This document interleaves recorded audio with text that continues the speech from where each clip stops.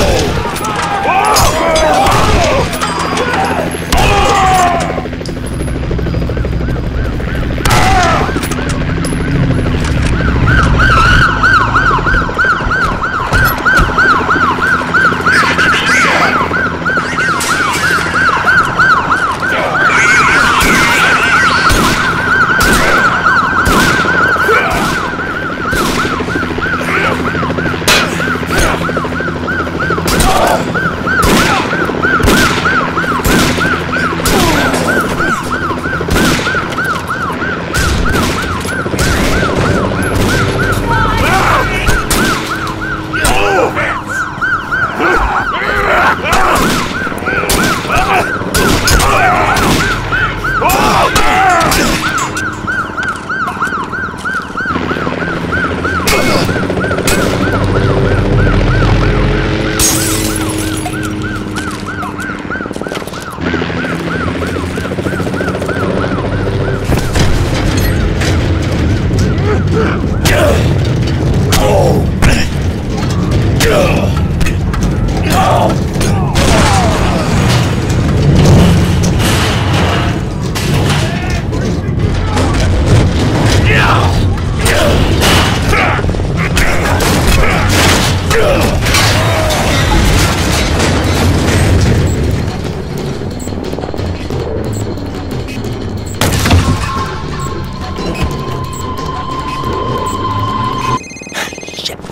was that? Thomas, I'm at the library. Where are you? Rosa, be quiet.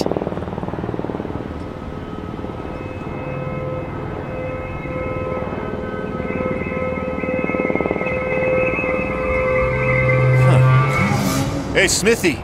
Johnson, wait up! Rosa, are you still there? Very few people can tell me to shut up and get away with it. Sorry, I'll be there in a couple minutes.